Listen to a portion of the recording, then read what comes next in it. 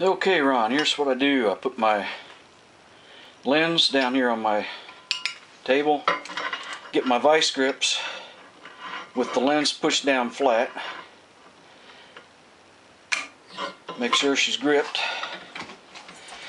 I turn my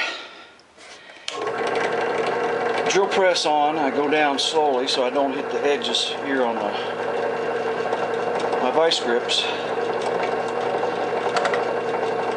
Line it up, hold it steady.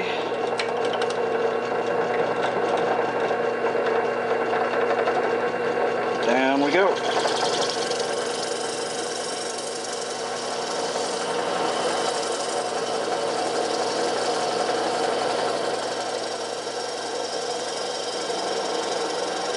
Into the plexiglass or acrylic now.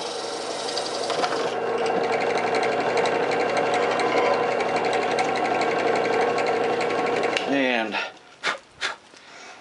what I did is went down and it popped popped the acrylic and it pops right out. And there you have your nice lip to put your glass glass lens in.